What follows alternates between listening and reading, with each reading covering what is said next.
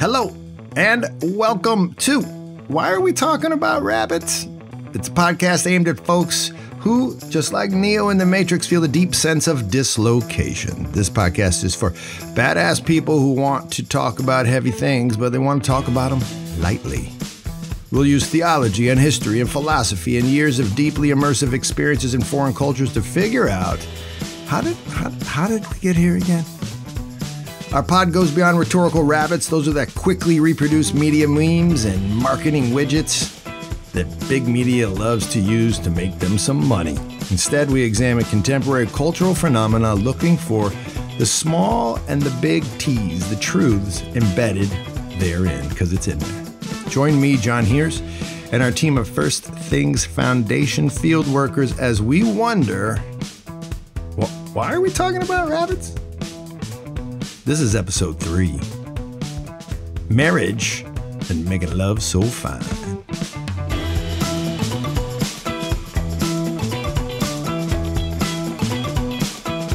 So, we've been talking about light people. People who start to see the world differently starting around 1650 or so. So, in history parlance, the 17th century, people who emphasize the rational in lots of ways, they tend to worship the mind. I call them in this podcast the light people. I'm a light person and I'm a, a white person. I mean, that's what I would be called today. And well, most light people, followers of the Enlightenment, well, they were white when this very interesting and new world way of thinking became a thing. They were white. Today, all types of people black, brown, red, white, yellow are light people. In fact, last week we talked about how some light people have decided to pay other light people reparations through Venmo because, well, white light people owe black light people a debt. That's the way the thinking goes.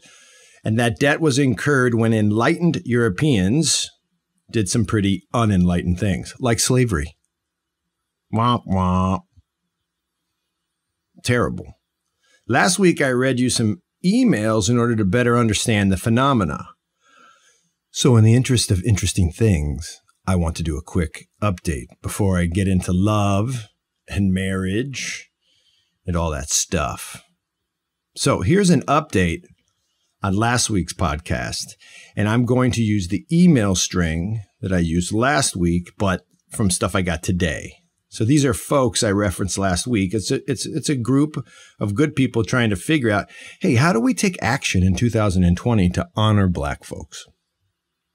So this one, the one I'm going to read about, came today, and it was one of a lot of emails. Okay, but this one's just too fascinating to pass up. We got to talk about it. Okay, it starts like this. Remember, it's an email string about reparations and how this particular company can get it right. Quote I am a white person, and I am feeling some anxiety and nervousness that some black folks on this list may not have received any payments yet. I'm wondering if more organization could be helpful. I have a thought the quote goes on, or the, the email goes on. I have a thought.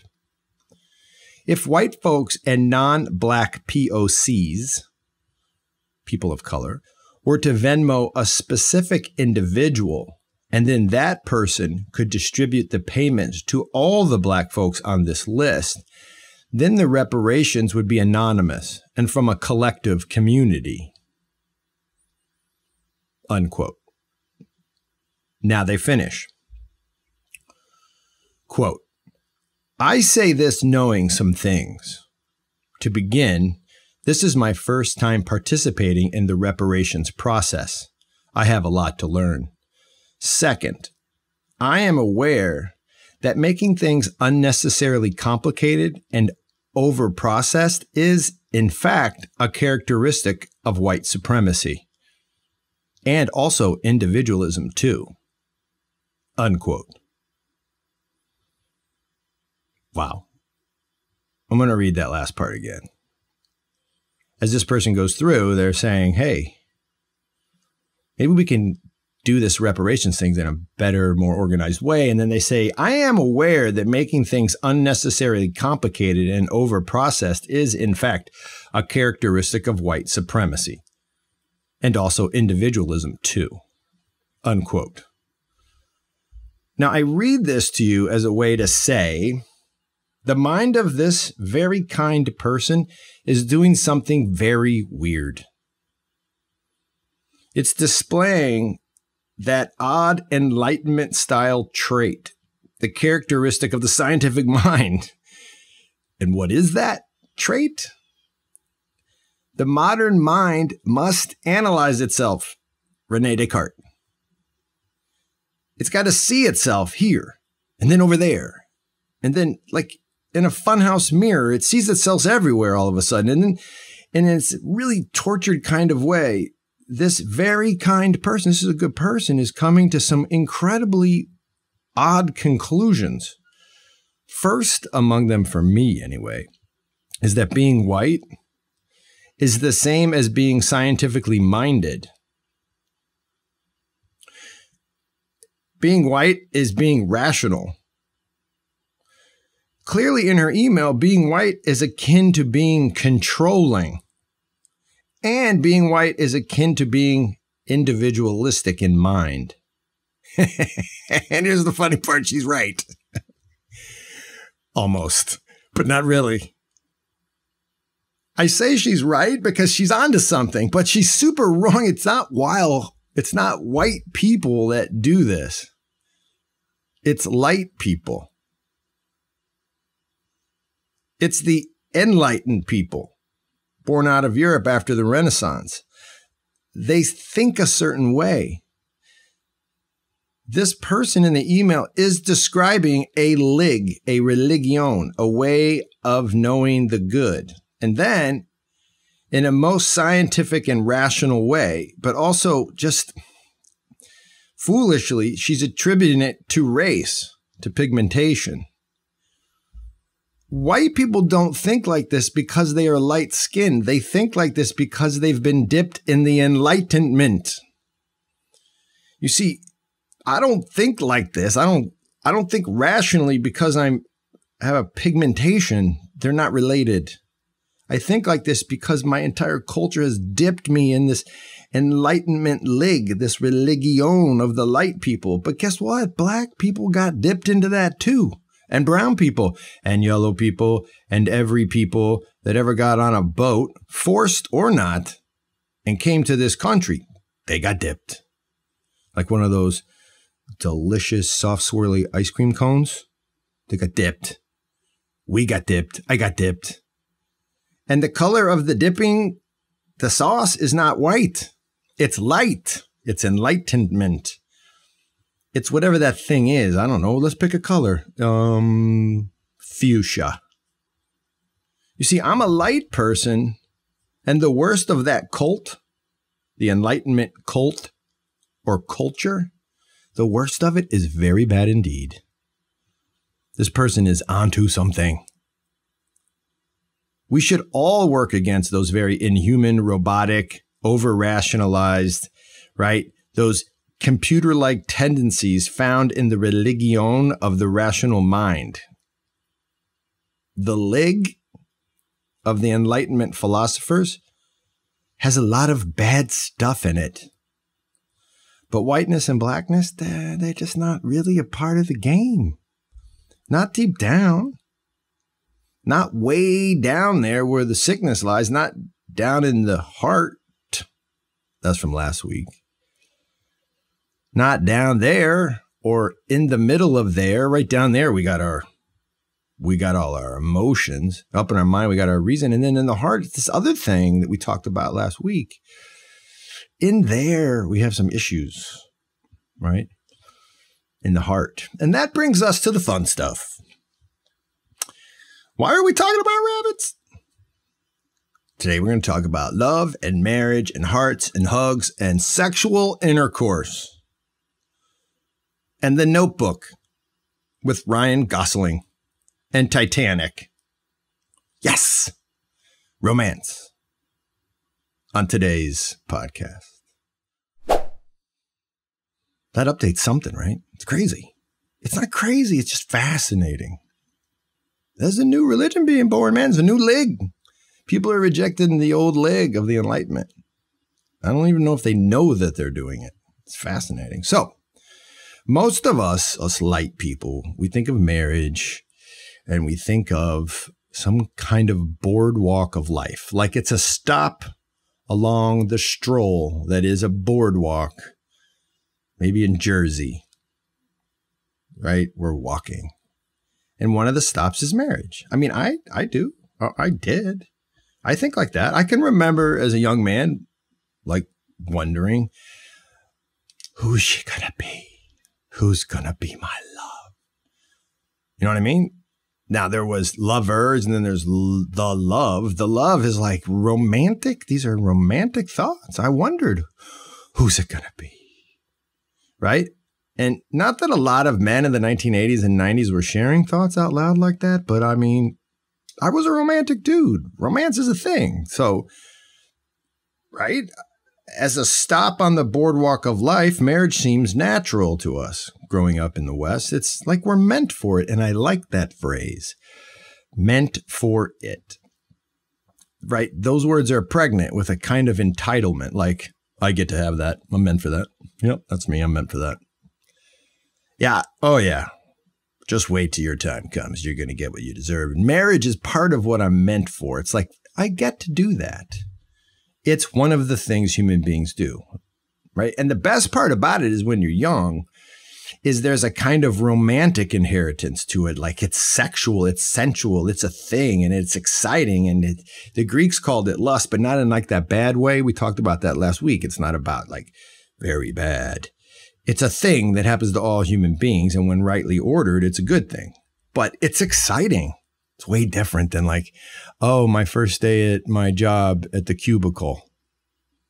Marriage is, whoa, it's exciting. Right? Marriage for light people comes as a type of ticket that gets you into an amusement park of romance. It's the thing that dreams are made of. But not in history. I mean, not in that old world history, which the show's all about trying to figure out back and forth between the new and the old. Not really at all, actually. See, in teaching not a few classes on this and reading not a few books, one of which is a book by Stephanie Coontz called The History of Marriage. It's good, it's solid, it gets wacky, but it helps it becomes pretty clear when studying this stuff that marriage is definitely a stop on the boardwalk of life, but uh, that stop looks like a subway station, like the D train, like I don't know, 77th Street, like that. Okay. And uh, it's the kind of stop that when you get on and you sit down, you realize you don't know who's driving it it just starts moving. And the driver's definitely not you. You know, you're sitting there with your pal, who's also a pal you can have sex with because they're your wife or your husband. But neither of you seems particularly in charge as this vehicle heads off. We're definitely not driving. And this feeling of being sort of, well, in a vehicle you're not in charge of, well, that immediately complicates the romantic stuff that you signed up for in the first place. That's marriage, man, for a lot of people. It's a vehicle.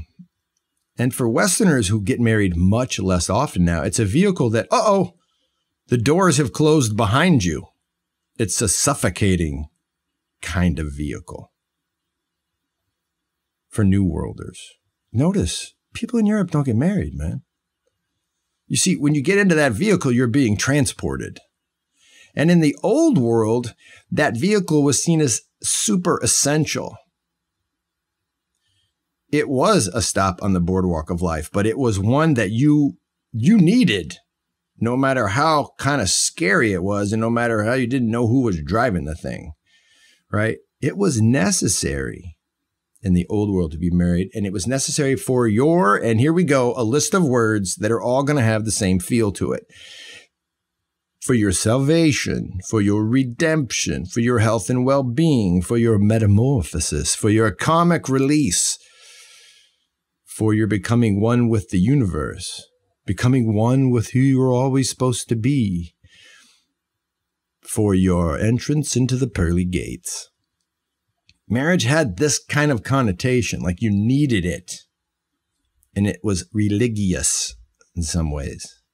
See, what you hopped into before the Enlightenment, anyway, was a vehicle for your transformation, not just transportation.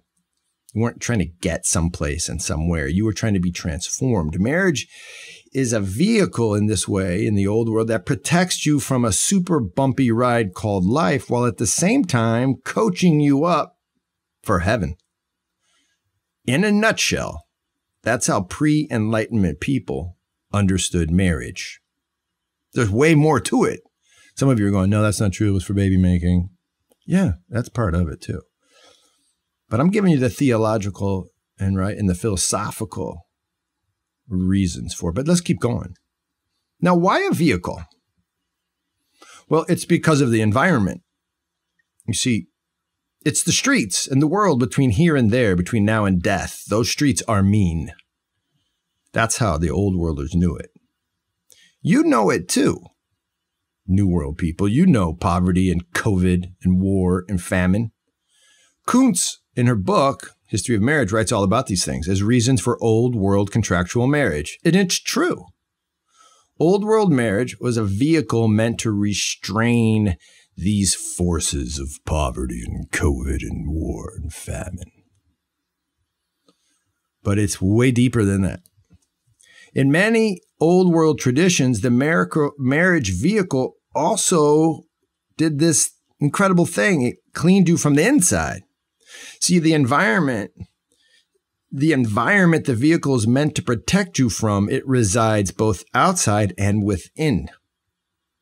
It's your sucky way of living, your very sucky way of being, that the vehicle of marriage is also out to repair. See, Selfishness, greed, narcissism, it's a long list. These are the things that screw us up, not unlike COVID, CNN, and Fox News. But greed and narcissism, and you name it, there's lots of spiritual ailments, they are inside of us. We brought them into the subway car called marriage. But in the old world, marriage has this, at least it's understood as having the powers, these cool powers to siphon out and distill these spiritual maladies. It has the ability to rid you of spiritual toxins. And then it does this incredible thing where it rids you of the toxins and then presents them to you against your will, like little cancers dug out and presented to you as a revelation about, hey, look, look who you were.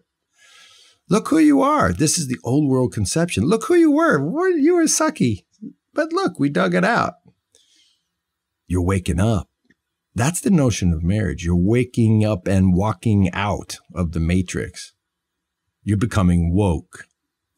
Woke, like really woke. That's what old world marriage in many old world traditions pre enlightenment was meant to do. I've seen it.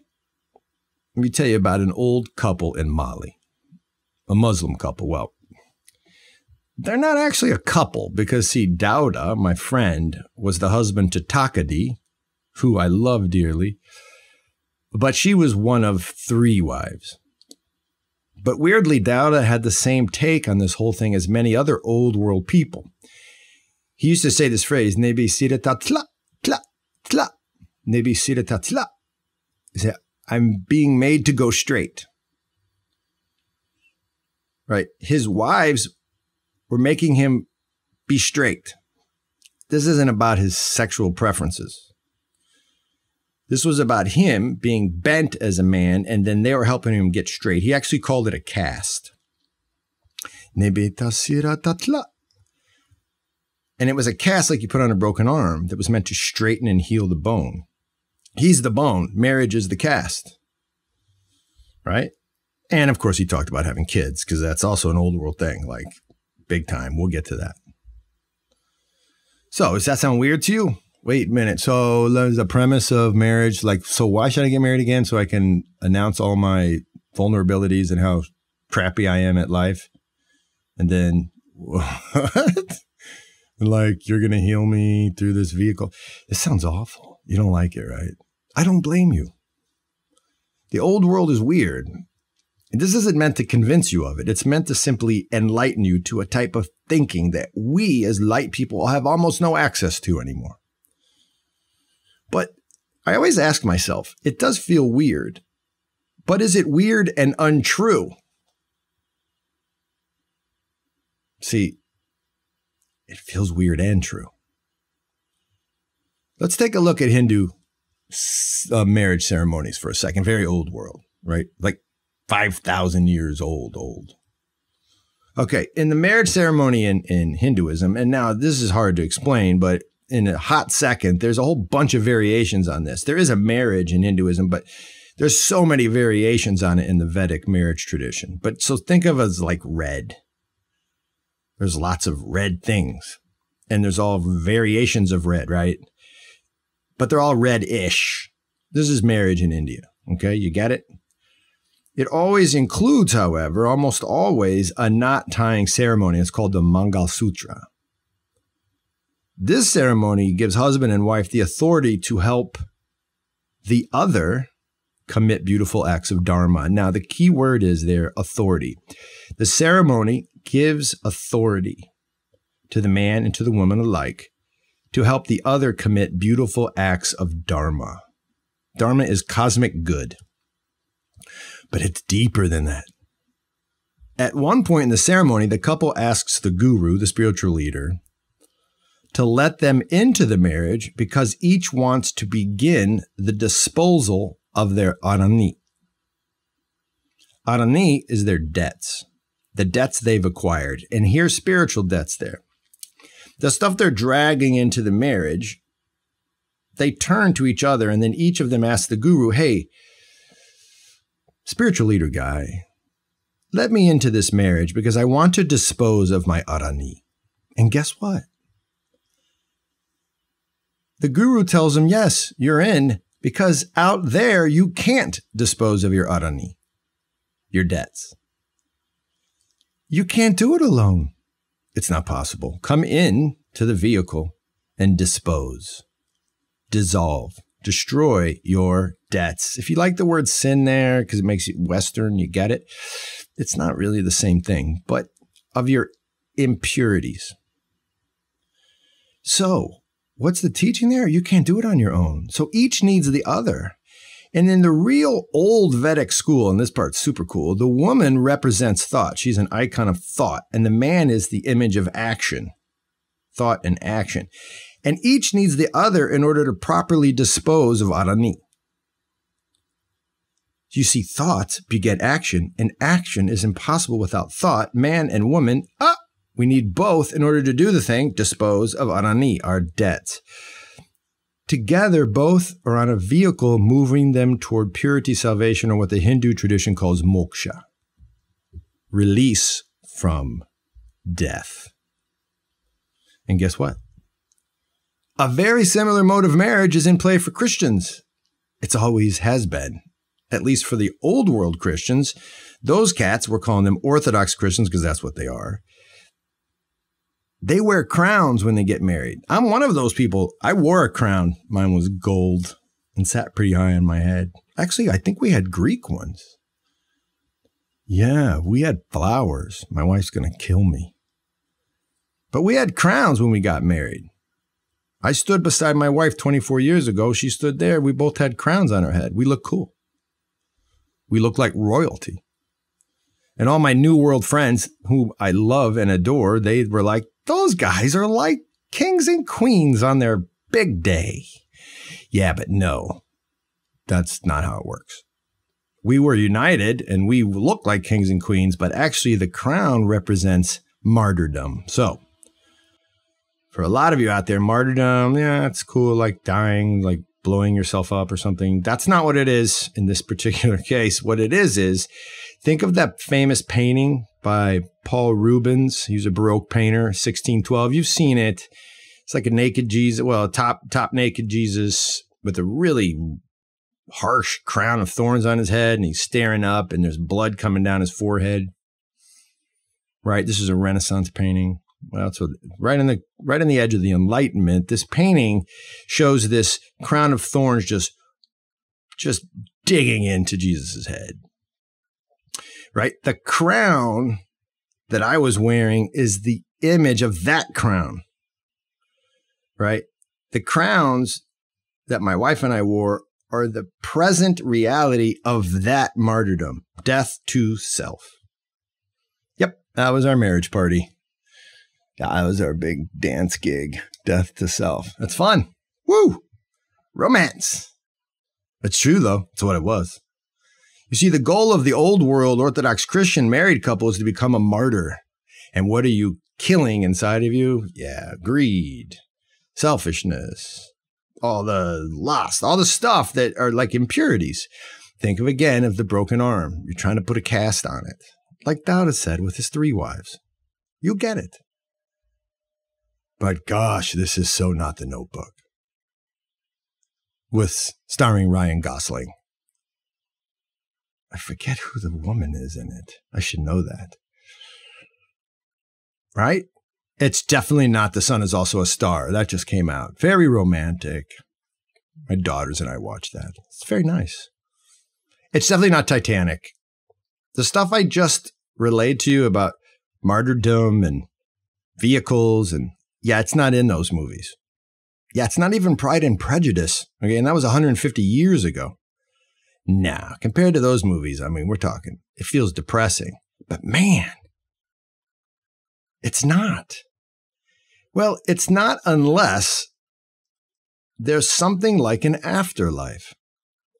Then it's like the best vehicle ride you could ever take because it goes all the way to space and like into the clouds where Jesus is. That's the common dumb conception that so many of my friends tell me. Like, you believe in that? Yeah, no, I don't believe in Jesus in a cloud. That's probably not the thing. Okay. But man, if there is a, a world that's not this one or that's this one and it's just right here with us right now, we're just not able to see it. If there is something else, then man, maybe this vehicle will take me to space. Or at least teach me how much of a loser I am. And then, by definition of having learned that, I become less of a loser because I become aware and awoke to who I am. And you know what?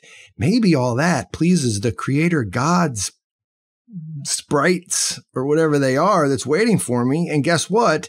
Maybe I become ready for such a world. Whatever it is. In our tradition, that's mine, the Orthodox tradition, it's unity with God. And so that's why the old school concept of marriage is what it is, because there's an afterlife, and that's about a God, which is an ultimate good. And that's why the old world ligament smells and tastes and feels the way it does, because that ligament is always about becoming pleasing to something bigger than yourself. And that brings me to Michael Jordan. Did you see The Last Dance? Top notch. I got a friend I wanted to put on a phone call right now. I couldn't get a hold of him, but he's coming in on this top notch stuff. An NBA guy. But check it out. In The Last Dance, the documentary about Michael Jordan, you see him doing really hard stuff year after year. He's being really hard on himself and really hard on his teammates. And something tells me that during the course of that 10 episode series, that there wouldn't have been a documentary because there wouldn't have been a Michael Jordan if there hadn't been something called the NBA Finals. If there wasn't a golden thing called the Larry O'Brien Trophy, something tells me that Mike and all of his Bulls buddies, they would have been doing something else in life if there was no finals. And in the old world, there's definitely always a final. And in the old world, you don't pass the final by using a paper and writing on pencil Well, let me flip that. you don't pass by using a pencil to write answers on a paper. No. No. The final for the old world folks is not in your mind. It's the acquisition of something deep in your heart. So, next time, let's keep this theme going a little bit and talk about marriage again, but this time between people who share the same body parts. Men marrying men, women marrying women. And let's put it in the context of the old world and figure out what the heck's going on there. What does the old world say about this? And how come the old world people, even around today, you can bump into them, come to Uganda with us or West Africa, they don't seem very happy about this concept. They seem pretty pissed off. Why don't they just calm down? Why don't they just let people be people? Next time, let's try to figure it out. On why are we talking about rabbits? Shani's Gagi to all of y'all. That's again from the Georgian Republic, and that means to you the victory. That's set at the KP table. I hope you all come and have one of those parties with us. In fact, invite us and we'll come to your place and throw one. They're amazing. That's our pod for today. Thank you for coming along. WAWTAR, that's why are we talking about rabbits is produced by Andrew Short and Daniel Paternos. And our pod is brought to you by the creators of First Things Foundation. That's a nonprofit that lives and works in some of the world's most just badass but very, very tough neighborhoods. We immerse there in order to create momentum for local change makers, people we call impresarios. We do this to support them and their vision of a better life. Share this WAWTAR episode with your friends. Hit us up with a solid review on iTunes and everywhere you get your podcasts. Your love for us allows us to love and serve others and go about our business of trying to get to the end, the NBA Finals end. Peace to you. Nachvam dis. Hasta luego. Cambufo. And peace out.